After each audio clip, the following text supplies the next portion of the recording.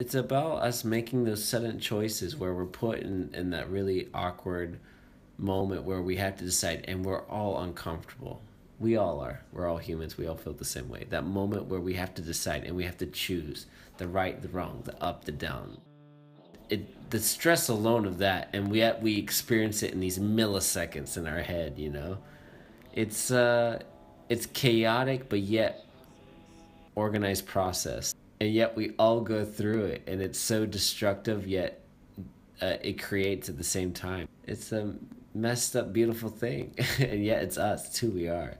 And uh, just to take a moment to admire it for a second because i mean i know i've been doing that a lot since working our way up to this workshop with my own indecisiveness. Thank you. From here, I really want to see.